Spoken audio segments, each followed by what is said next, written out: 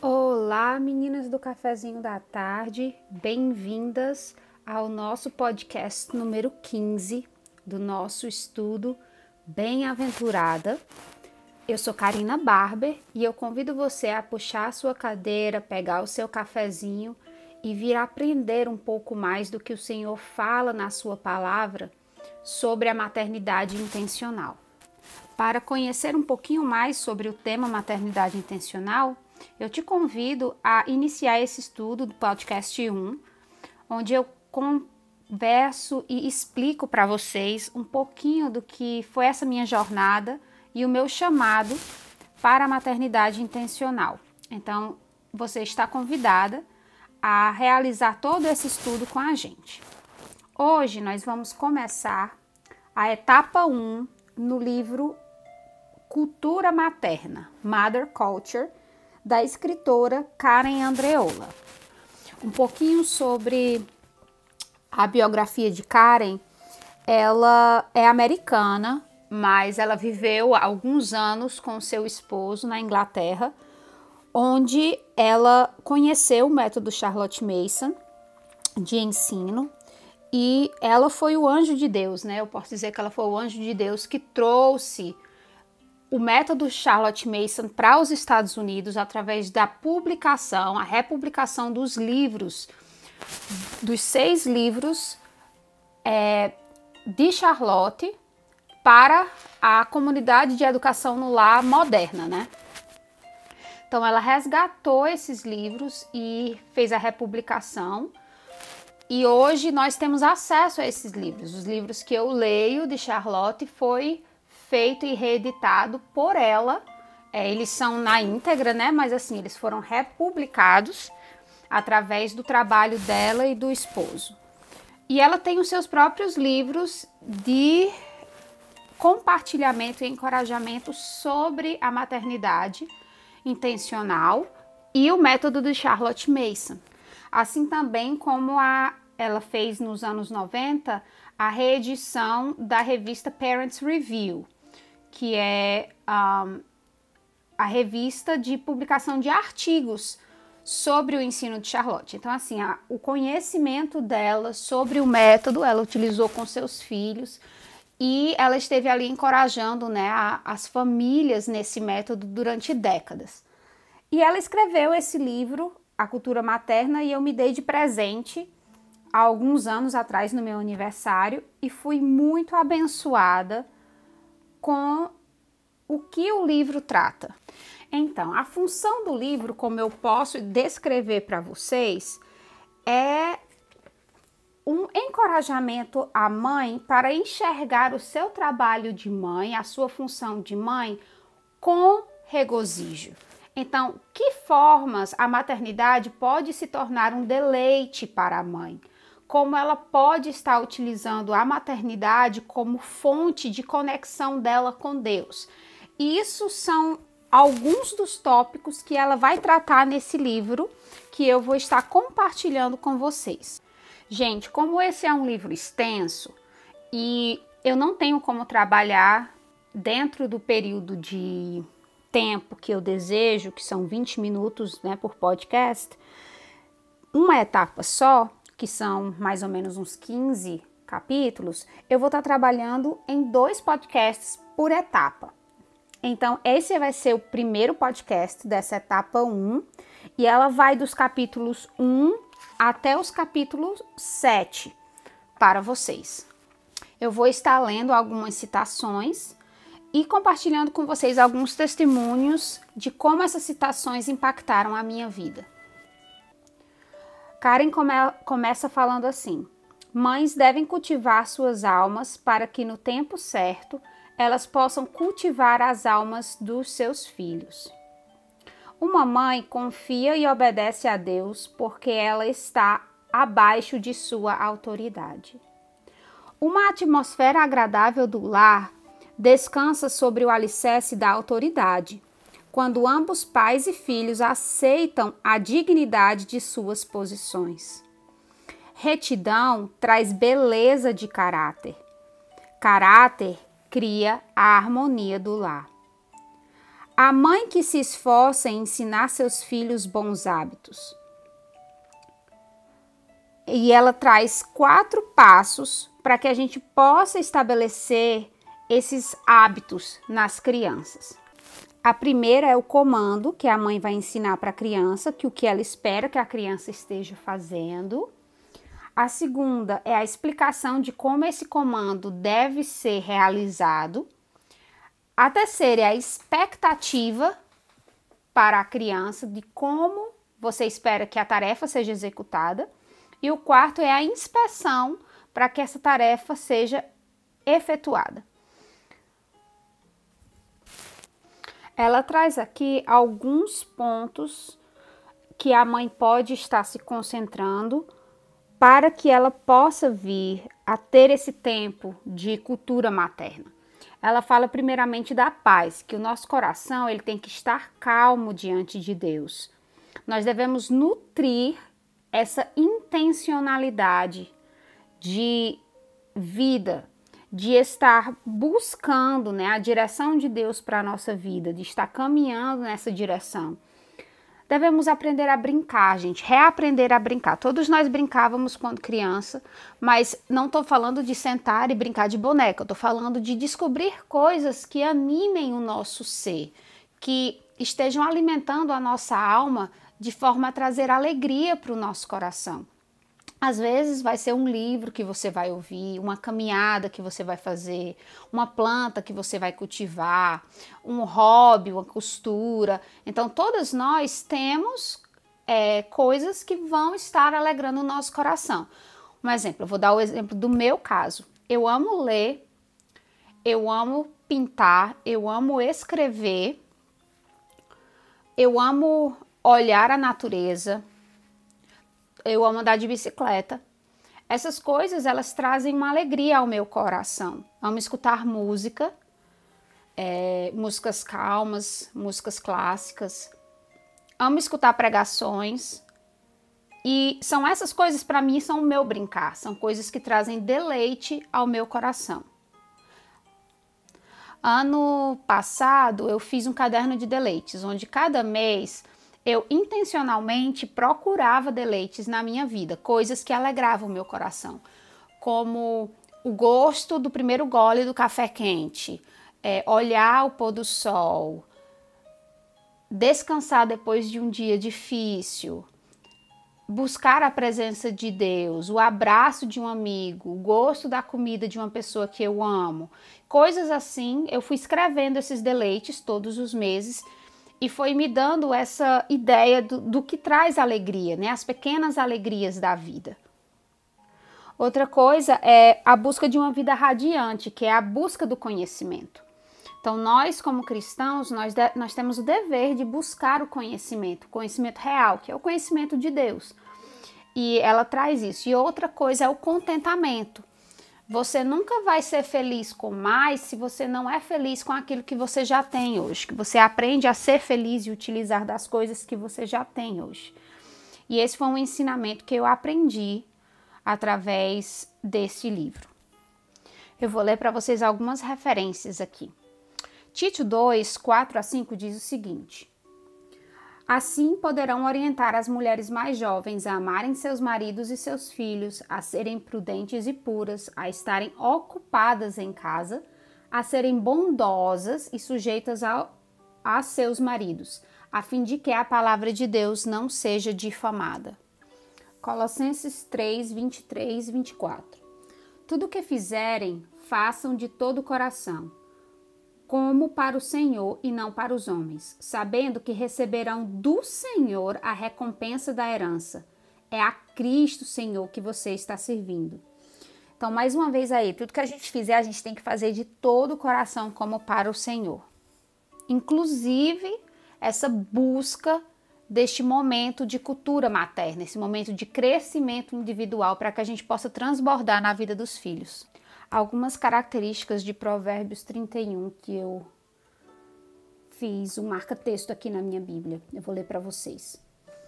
Entrega-se com vontade o seu trabalho e seus braços são fortes e vigorosos. Versículo 17.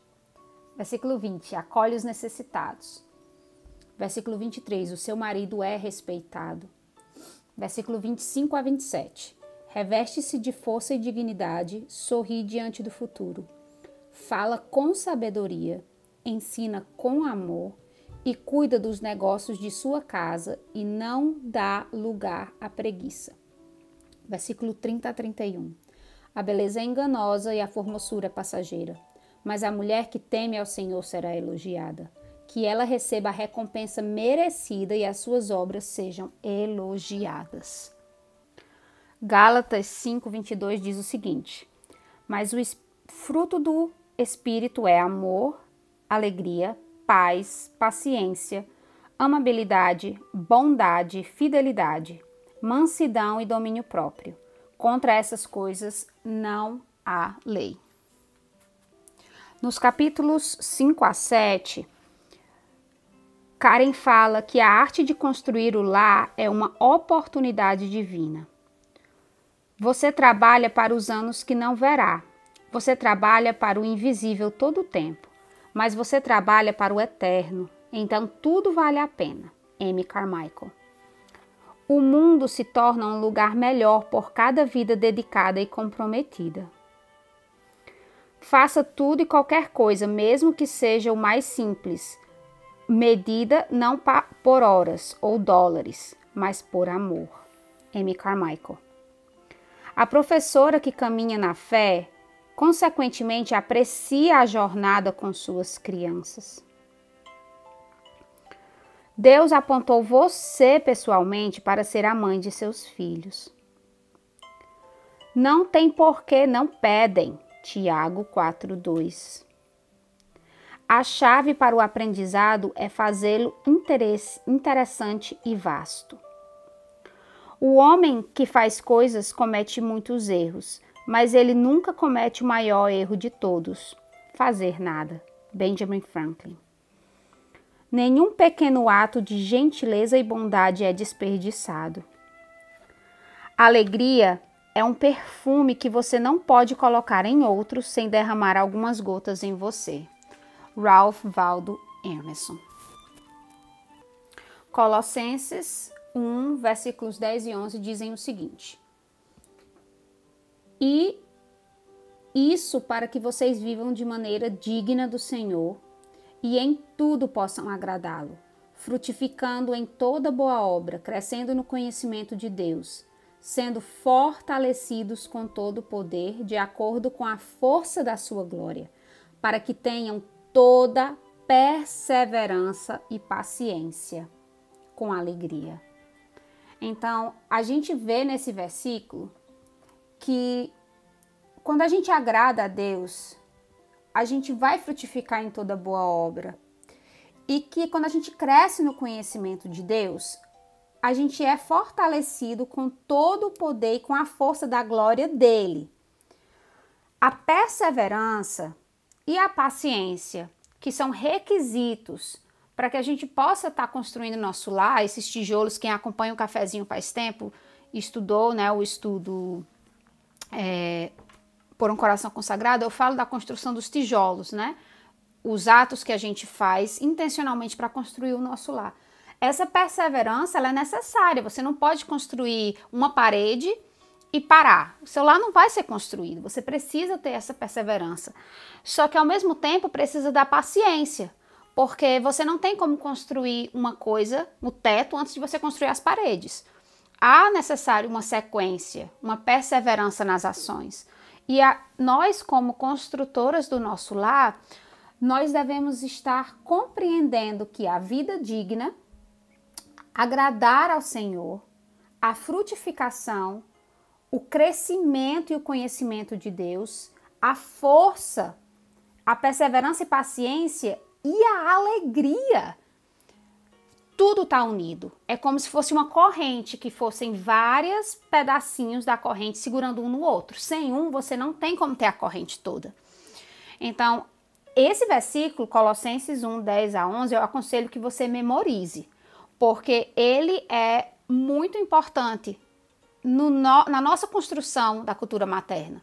Porque dele vai entender, a gente vai poder compreender que as nossas ações como construtoras do lar estão interligadas e são codependentes umas das outras. Você não vai ter paciência se você não tiver a perseverança. Você não vai ter a perseverança se você não for fortalecida com o Senhor na força do seu poder. Você não vai ter essa força se você não crescer no conhecimento de Deus. Essa frutificação de toda boa obra vai vir das tuas ações diárias. E você não vai agradar a Deus se você não viver de maneira digna. Então, assim, tudo isso é uma grande corrente interligada.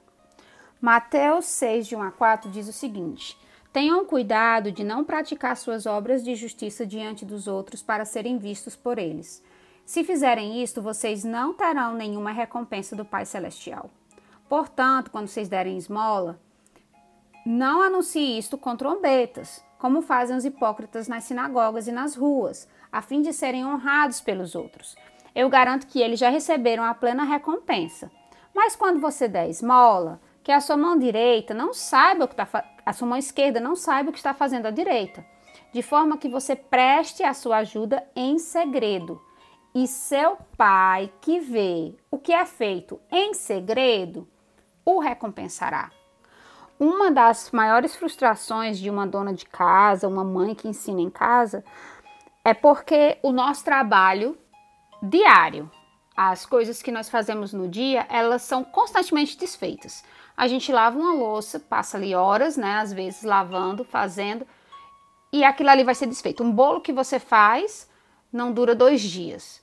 Uma limpeza na cozinha, pouco tempo depois vai ser com um copo de leite derramado, tudo vai embora. Um banheiro que você limpa, à tarde já vai estar tá sujo.